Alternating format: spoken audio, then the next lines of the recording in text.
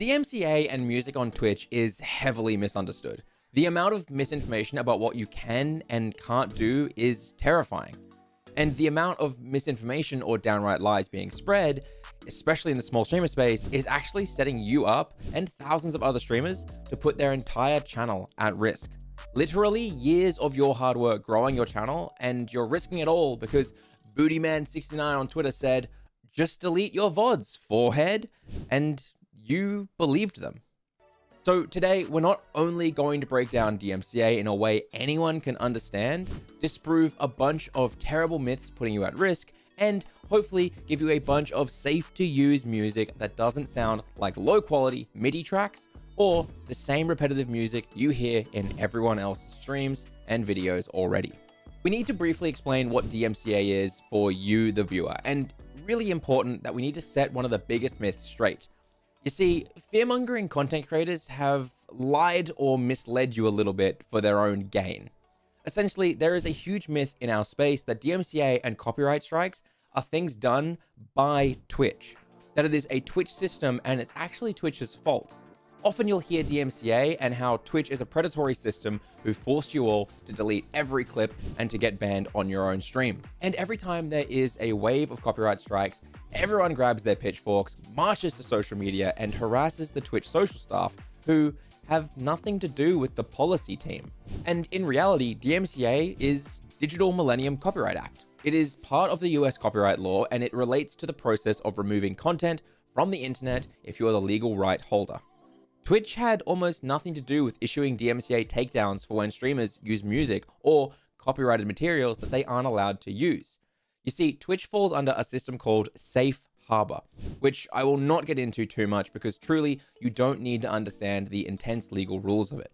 But essentially, the copyright strikes actually come from the copyright holders, who own the rights to whatever it is you're using without their permission. And really, you only need to learn one single rule to make your entire stream safe, which I will tell you that rule in a second, and you will probably need some options for music, which I'll also give you in a second as well. But first, what is the main step that Twitch actually takes in this process? Well, when a streamer, or you for example, plays music or uses copyrighted material they don't own, and if Twitch's automatic systems detect it, which they do have, well then they will mute the VOD for you, the streamer's safety. If you receive a muted VOD, you know to instantly stop using the music or content because you don't have the rights to it and Twitch is concerned about the use of it. Don't worry too much if you do get muted though. Well, no, that's not true. You should worry a bit, but don't worry a lot because a muted VOD isn't a copyright strike.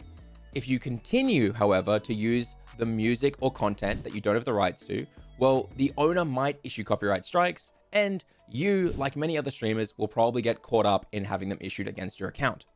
Luckily, Twitch added a new tool to see if you've received strikes or not, which I'll show you where to find that tool later in the video, so stay tuned. Eljay, Eljay, Eljay.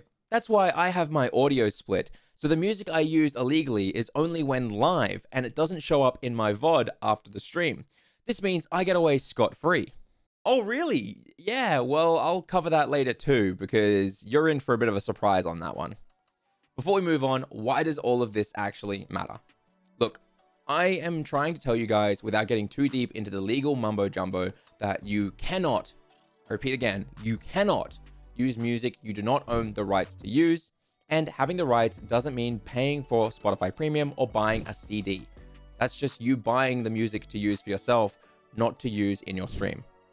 You need to use music you have proper permission from the rights holder to use in your content. This means either any of the services we will mention later in this video or other trusted services. Because, shock and horror, just because a playlist on YouTube or Spotify says copyright free doesn't mean it actually is. Most of those aren't, and they don't even own the music they're using. Before we go any further, I'm excited to say this video is in fact sponsored. You see, I get asked all the time about the music I use on this channel, my side channel, and on my streams. And these days, I really only use Epidemic Sound, and I love it so much. They have over 35,000 songs across every single genre, and no matter what type of music you as a creator like to use, I promise you, they will have something that fits you and your content. That most importantly is safe to use and completely okay to be monetized across all platforms. I love how easy it is to find new music as well. Every three to six months, I like to refresh my entire stream by adding new songs, getting rid of old ones, So I just go to Epidemic, hit browse, and I sort by different genres, popularity, new releases, and it takes no time at all. I don't just use their normal tracks either. I also have circus music, epic battle music, and I have even sneaky music that I'll switch to with a hotkey on my Stream Deck or other tool, depending on what I'm doing in the stream. Hey, if I'm going up against a big boss, you know I need some epic battle music to help me get through it. Hello? That's not my best moment. But Eljay, I want to keep risking my channel by playing whatever I want. Look, I know you love Kanye West Billy, but what is the point of working so hard to grow your stream only to lose it overnight when record labels learn what Twitch actually is, which is happening faster and faster every year, and then they choose to strike everyone into the ground again. And to help you start using the right types of music, we're offering you a 30-day free trial for Epidemic Sound with the link in the description. You can use that right now to try their service for 30 days and realize just how amazing it is. The best part about this is though, I will also cover a few other free services soon, and I still need to show you where you can actually check the Twitch copyright tools. But first, it's important to show you how to credit artists, which is really hard to do because every artist actually requests credit in a different way. For example, Epidemic Sound is actually really easy. It just asks you to connect your username to your Epidemic account, and that is it. But for services like ChillHop, they require a panel and a link in the description or your stream's about section. Because everyone is different, there's no rule of thumb when it comes to crediting an artist that you're using. So instead, what I like to do is I try to find a page about how to credit and I follow that. Or because again, there's no real standard, sometimes they might call it a Creative Commons page or a licensing page where they explain how to credit them, where you can use it, and where to go from there. Everyone is different and you just have to do your best to follow their guidelines. Personally though, I won't use music unless I have found a section on licensing or Creative Commons beforehand. Because as I mentioned earlier, just because something says copyright free doesn't mean it is. For the love of God, please stop trusting random Spotify radio stations or YouTube playlists. Most YouTube playlists out there that say copyright free, I find, are just using Epidemic Sound music and then not telling you guys that they're using someone else's music. But what about getting permission from artists? Well, that said, I've also emailed artists in the past to get express permission from them. And I do use some music from independent artists who I've spoken to. But it is very important to know even this is risky.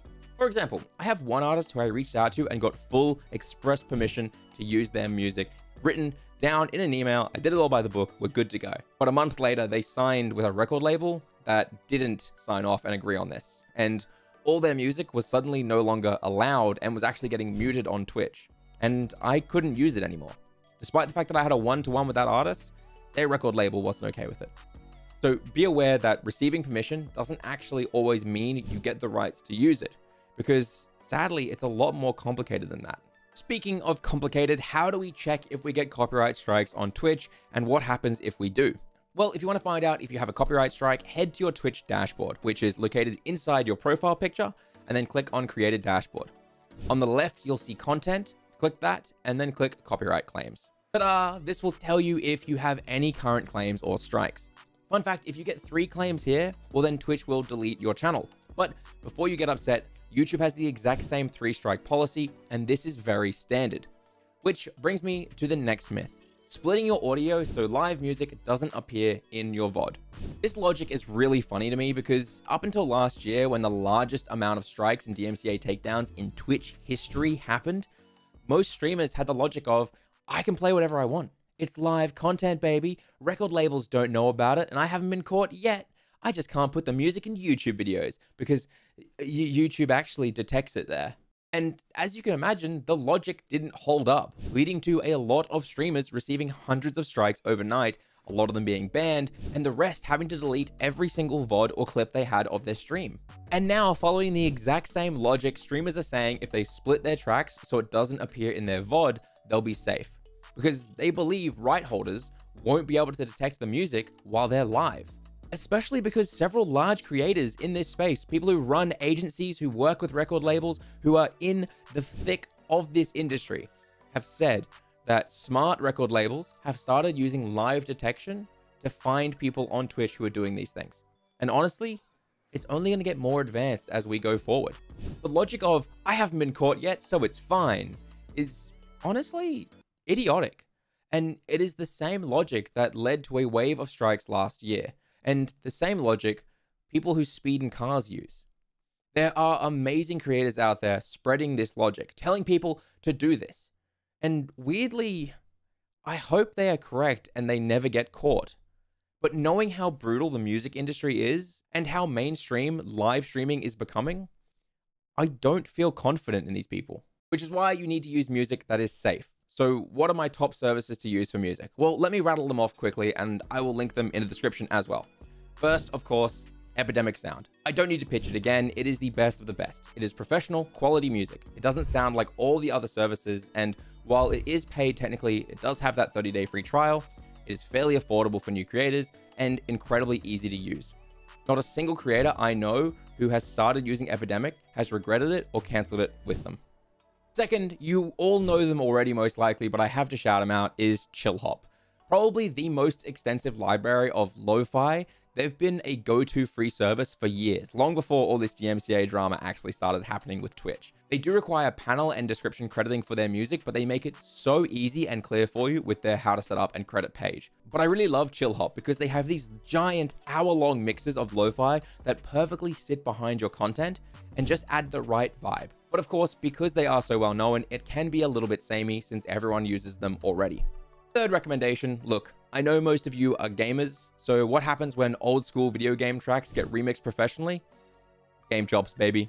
All your favorite game tracks remixed into lo-fi, EDM, and more, while also being safe to use with credit?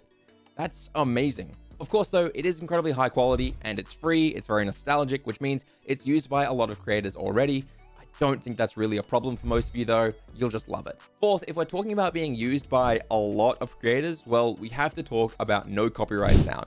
These guys have been on the internet since before you were born practically, and every single Call of Duty montage or League of Legends video has used their music already. Seriously, these were the OGs for gaming video music. If you go to their channel and sort by most popular, I promise you'll recognize one of the top tracks. Great service, does require credit, but it's free to use, very well known for a very good reason. And finally, I really don't need to recommend them because most of you who watch this channel would have heard of it already. It's Stream Beats by Harris Heller. I, again, don't need to say anything here. If you're a streamer, you know Harris, you've heard Stream Beats, you'll be fine. I think it's really important to say that music can go a long way to help your content be more engaging. But at its core, you need to practice and become more confident and more entertaining, which is actually easy if you know the right steps. So click here and watch this video. It'll help you do just that and grow as a content creator. I'll see you guys next week.